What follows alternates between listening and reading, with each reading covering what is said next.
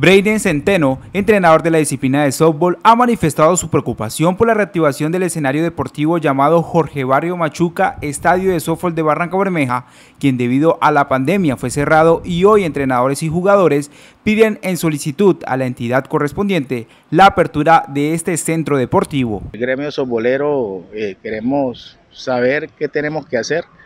para, para poder volver a utilizar el Estadio Joaquín Barros Machuca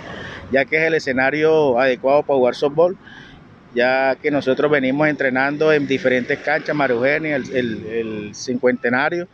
pero ya ahorita llegó el, fútbol municipal y el nacional, entonces ya no tenemos el espacio para jugar allá en esas canchas. Hoy jugadores pertenecientes a esta disciplina nos explican del por qué no han abierto este estadio para niños, jóvenes y adultos para que puedan practicar en sus campeonatos nacionales. Eh, me he tratado de, de comunicar con amigos de la liga,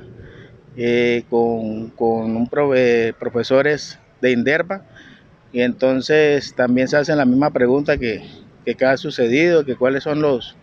los motivos ya que en toda Colombia todos los escenarios de softball ya se están jugando, en Bucaramanga están jugando, en Valledupar, en Cartagena, en toda Colombia ya los escenarios están ya jugando. Esta vez piden al Instituto por el Fomento del Deporte, la Recreación y el Aprovechamiento Tiempo Libre y la Educación Física de Barranca Bermeja Inderva la apertura de este escenario deportivo. El llamado,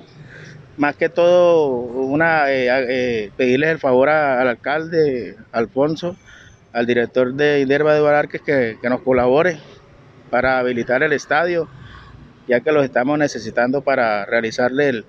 los campeonatos, no solamente el campeonato de los Reyes de la Pelota, sino los, los, señores de Plus 60 y los otros campeonatos que quieran realizar. Se espera que la entidad a cargo pueda brindar una respuesta oportuna que permita que los pequeños y grandes puedan crear espacios competitivos para esta disciplina.